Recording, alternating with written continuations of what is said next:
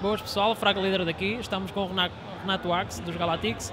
Renato, um, o que é que falhou? Vocês não passaram dos grupos, ficaram por terra, uh, o que é que faltou? Opa, antes de mais, obrigado pela entrevista à Frag Leader e a ti. Opa, somos uma mix, não, não há muito por onde, por onde, por onde entrar, é, é só erros que não se devem cometer e basicamente foi erros no, de mix mesmo. Não, não tínhamos nada treinado, não, jogámos que um dia, um dia antes do torneio só, só um dia.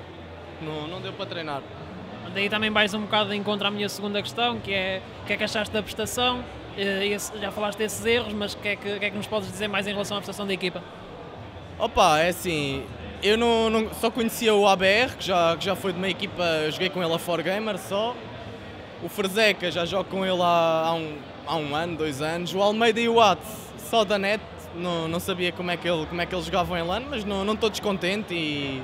Opa, é pessoal que joga bem, foi, o erro foi coletivo, não, não tenho nada a apontar a ninguém.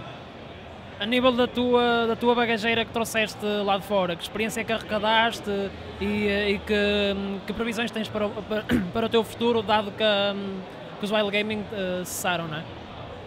É assim, eu saí para os Wild Gaming um bocado à toa, o, o convite surgiu, eu estava na, na, equipa nos Guardians na altura, não, não deu para processar muito bem. Ah, basicamente o que se passou foi tudo muito momentâneo, tínhamos que o torneio mais importante de Espanha para jogar dentro de três dias, não treinámos.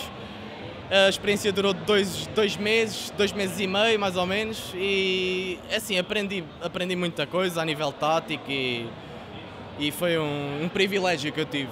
Isso é, isso é de frisar, mas uh, não, não correu bem. Não correu bem. Não vou estar a mentir, não correu bem. Os 5 não, não estávamos a encaixar, a comunicação também dificultava. Não, não correu muito bem, mas trago coisas positivas também. Fica aqui então a entrevista com o Renato, daqui a Frag Leader e até uma próxima.